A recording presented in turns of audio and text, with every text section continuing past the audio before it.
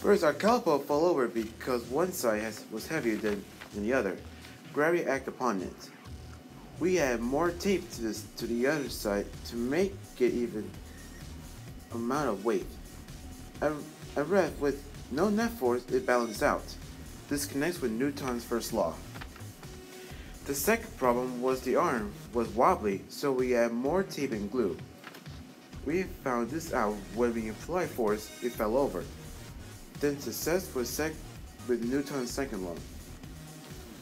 When launching the object in the catapult, if the force increases, the mass increases. This also connects with Newton's third law.